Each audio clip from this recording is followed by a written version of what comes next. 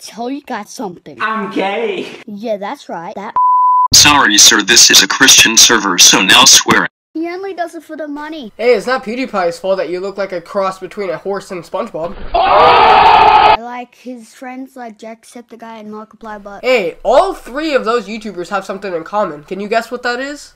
They're all better than you. does it for the money. He even confesses it.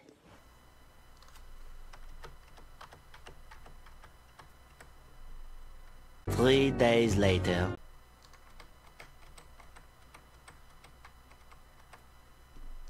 But that f***ing boss.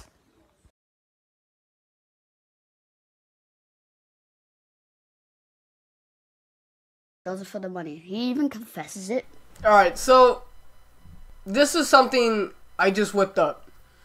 And it's a shame to see some of these kids, as ugly as they are, hating on somebody that did nothing to them.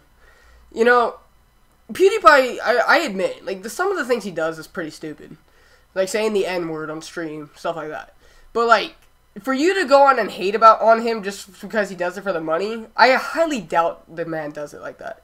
Like, the guy is really hardworking, not to mention, I grew up watching him and he was pretty funny. I just don't like his style now just because I think he's too cocky. So that's just me.